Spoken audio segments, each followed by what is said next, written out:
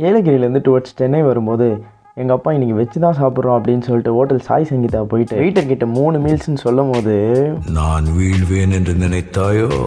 அப்படின்னு சொல்லிட்டு மூணு நான் ஒரு பன்னீர் பட்டர் மசாலா ஆர்டர் பண்ணேன். ரெண்டு நான் சாப்பிட்றதுக்குள்ளே கிரேவி காலி ஆயிடுச்சு. அப்போ கேட்காம அந்த சார் வெஜ் குருமா எடுத்துகிட்டு வந்து கொடுத்தாரு. அந்த மனசு இருக்க. ஃபைனலாக எங்கள் அப்பா பில்லை பார்த்துட்டு சும்மா அதறது இல்ல இதுக்கு நம்ம மூணு பிரியாணியே சாப்பிட்ருக்கலாமே